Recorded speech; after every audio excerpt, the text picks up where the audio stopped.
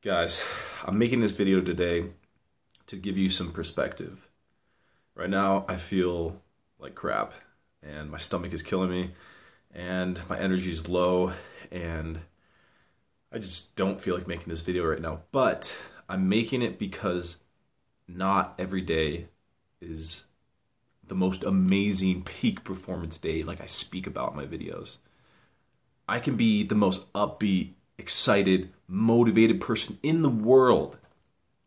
But I'm still going to have days where I'm down, where I'm set, where I'm feeling like crap and I just don't want to get behind the camera. But I get behind the camera anyways because it's the authenticness of myself that will speak more than me just not doing the video at all. I have to get to be on the camera because I care about it. But at the same time, I want to give you the reality of life that some days you just do not feel like it. And sometimes you don't execute. I was about to just not make this video. And you know, it's okay. You know, it's not necessarily okay to myself and my standards, but it's okay in the world. The world's going to keep going on, just like I talked about in the other videos. Time has no emotion. It doesn't matter if you feel good or not. Time just keeps trucking on. So I don't necessarily feel good, but I make the video anyways to give you perspective. If you feel like you have to be perfect 24-7, 365, you're wrong. It's impossible. You won't be able to. You'll burn yourself out quickly, and then you'll give up.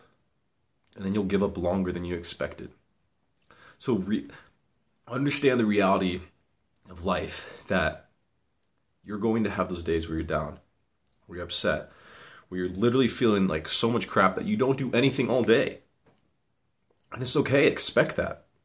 Expect to be imperfect. Expect to get into slumps. Expect to be not the best person every single day. But also expect that at some point you have to raise your standards. At some point you have to step up. At some point you have to stop making excuses. And you have to get behind the camera no matter how shitty you feel. You have to do stuff that will get you to the next level. Allow yourself to have the break every once in a while, to feel sorry for yourself, but then get over it. Feel shitty, be in a slump, but then get out of it. That's what it is. Don't spend more time in the slump than you need to, but realize you will be in those situations. That's what I want to tell you with this video. But since I'm feeling so crappy, I want to end this video. But you get the message. You're going to go through these things and you're going to feel a certain way and you're not going to want to execute, but you try anyways.